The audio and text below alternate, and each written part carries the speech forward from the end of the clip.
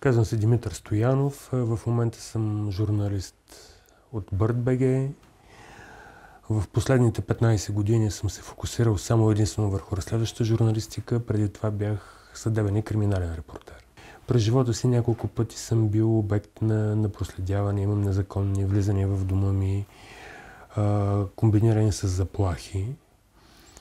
А, може би имам свидетели за тези събития, имам подавани сигнали.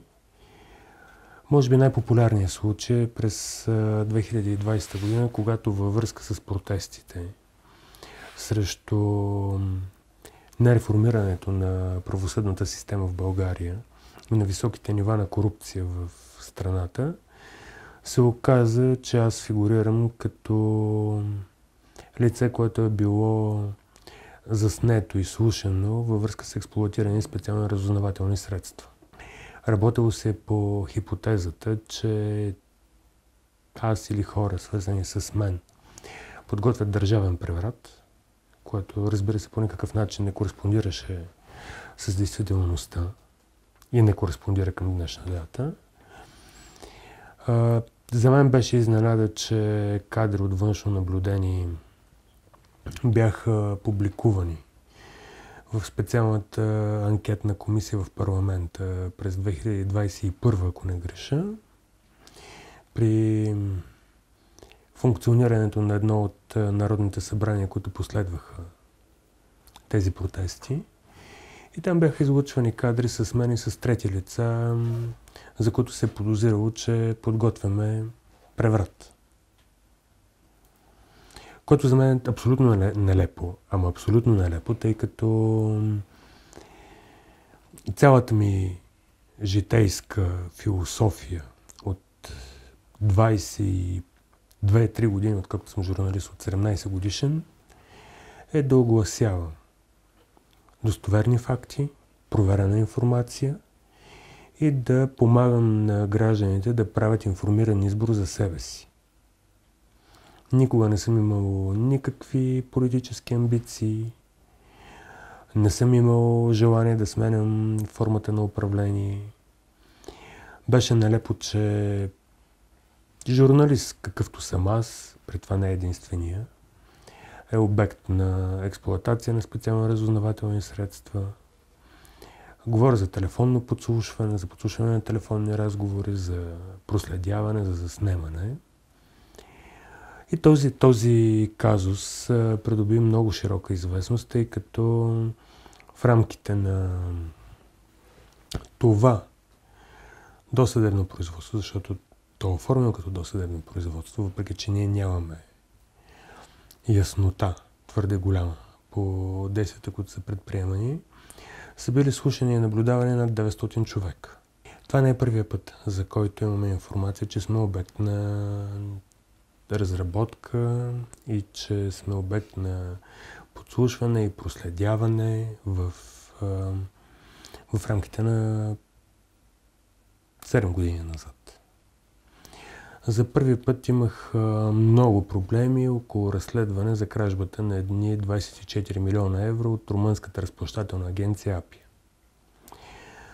Тогава успяхме да валидираме с способите на журналистиката, че всъщност първа инвестиционна банка е оперирала от името на компаниите, които получават обществената поръчка, но не доставят храните за румънските бедни, че те дават банковите гаранции и правят всичко възможно после да се измъкнат от отговорност, човек, който е фиктивен собственик на фирмите, които са получили, спечелили са обществената поръчка, получили са финансирането, заяви, че цялата документация, печатите на фирмите му са стояли в банката, още през спечелването на обществената поръчка, и че хора от банката са оперирали с тези активи.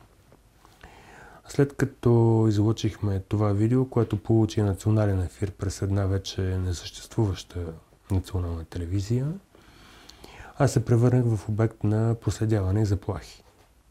Бях заплашван от високопоставени магистрати а, и бях по-късно следен, за което считам, че просто беше опит а, да бъда подложен на психически тормоз.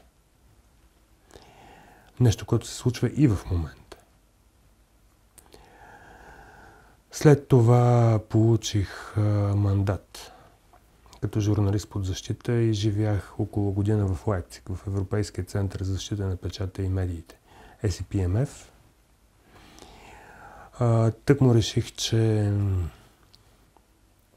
този етап от българската действителност е преминал и тръгнахме да реализираме казуса GP-Gate във връзка с корупционната схема при освояването на над половин милиард евро средства на европейски данъкоплатец.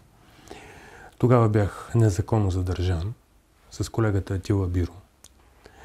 Тогава от а, румънската медия Райс, сега има собствена медия.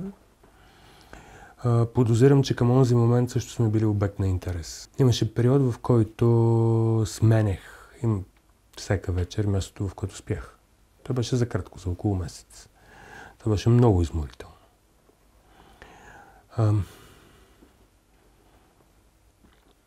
А, не липсват проблеми. А, рязане на гуми, заплахи в интернет. А, понеже следя тази тема, като и от професионален интерес и като журналист в лично качество, пък било и то от професионална гледна точка. Считам, че България е държавата в Европейския съюз и държавата, която е най-близо до демократична форма на управление, в която имаме най-много казуси с подслушване журналисти. Ние имаме поне три скандала от 2007 година насам, за около приблизително 15 години.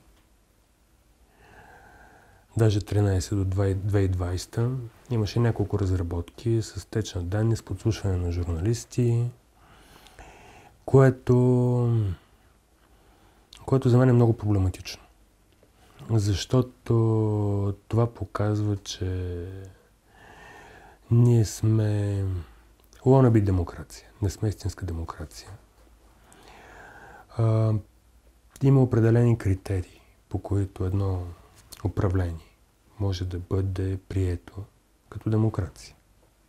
Един обществен ред – Едно от тях е свободата на словото, правото на сдружаване, правото на изразяване на политически пристрастия, правото на изразяване на мнение. Очевидно при нас в голяма степен тези права са суспендирани. Или казвам с други думи, ние, ние сме демокрация, но не съвсем. Доколкото знам по част от течовете на данни, когато стана ясно, че са следени и слушани други колеги, имаше започнати досъдебни производства. Само, че аз не съм достигнал до информация, че там внесени обвинителни актове, че има произнесени осъдителни присъди или каквото и да е от този род. Аз лично не знам някой да е, да е бил осъден. Може би е мой пропуск, тъй като точно този род дела не ги следя. Понеже имам твърде много други задачи, но като цяло репресията срещу медиите се оказва напълно безнаказана.